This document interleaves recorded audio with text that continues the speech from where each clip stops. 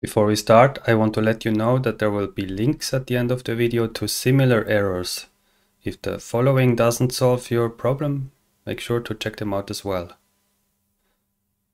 You added a form to your Angular app and now you keep getting this error, can't bind to form group since it isn't a known property of form. You fiddled with your input and the form in every possible way.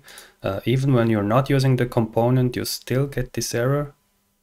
Uh, stop fiddling and making it worse. This is actually very easy to solve.